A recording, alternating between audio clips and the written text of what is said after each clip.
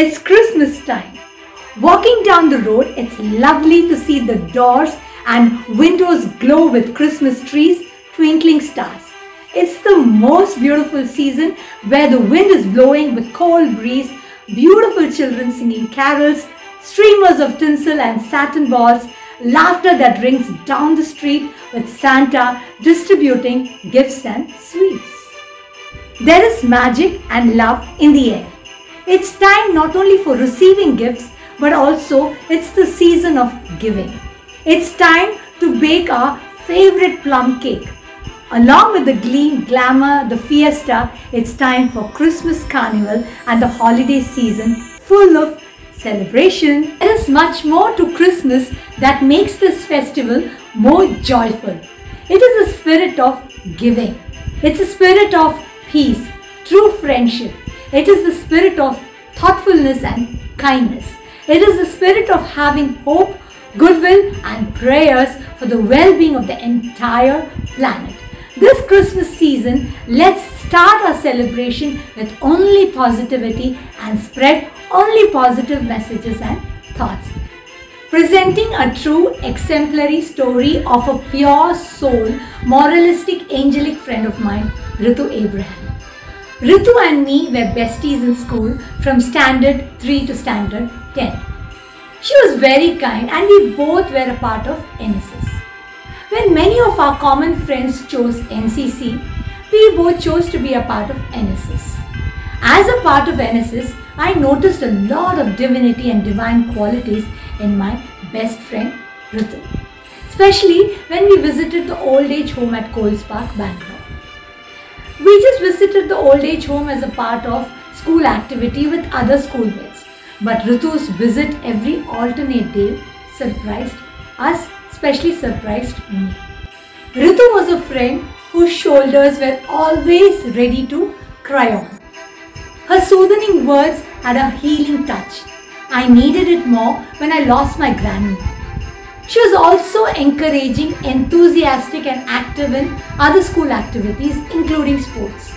She also had a great sense of humor, but not all her decisions in life was taken in humor. One such incident was in a moral philosophy class when our moral philosophy teacher, Sister Yesta, asked us a question. It was a casual question, but a question where every teenager felt that was the hardest question and a question to ponder upon.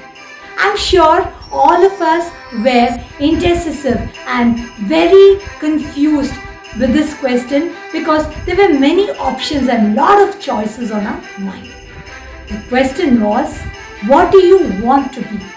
What do you want to be? The answer was a conversation where our budding age was going to convert us to a flower. Most of us wanted to be a doctor, engineer, teacher, nurse, etc. etc. But Ritu's answer was unique. She wanted to join the missionary and do service. She was the only student in our class who was very sure and very clear about her dream of what she wanted to be. Well, things changed, so was our career option.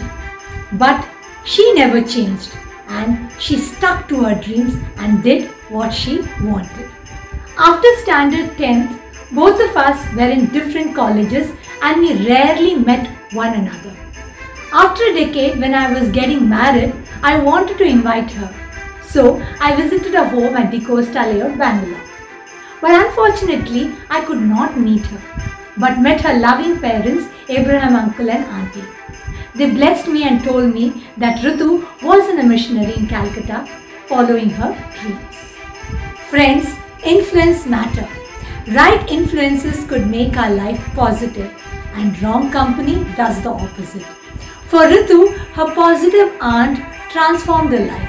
Ritu's aunt was a nun working for Mother Teresa's missionary home at Kolkata. Ritu always felt that her aunt was the happiest content, richest lady, full of happiness and peace that no money could buy. From as a child, her aunt was her role model. Friends, though we experience many rough storms in our life, some valuable stories of our friends and their lives teach us lessons, positive lessons. Sometimes I try to look at life from her eyes with the glasses of her memories. And my rough, hard days gives me hope and different perspective to look at life, to have a larger dream and to have a larger mission. I'm sure all of us have friends like Ritu who are the light of a candle. They are simple and small, but it can light the entire room and remove darkness from our life. In a friend, you find your second self. Cheers to God's glory to have glorious friends and positive friends like Ritu. Merry Christmas to one and all, and may this Christmas bring only positive hopes and positive dreams.